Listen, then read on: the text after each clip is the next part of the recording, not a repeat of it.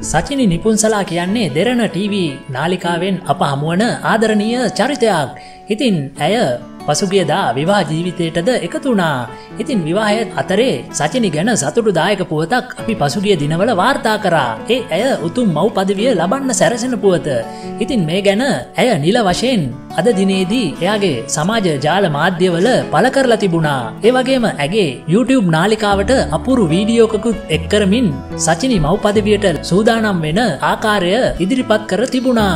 ඒ වගේම ඉතින් සචිනි එයාගේ මුහුණු පොතටත් අපූරු ඡායාරූපයක් එක් කරලා තිබුණා.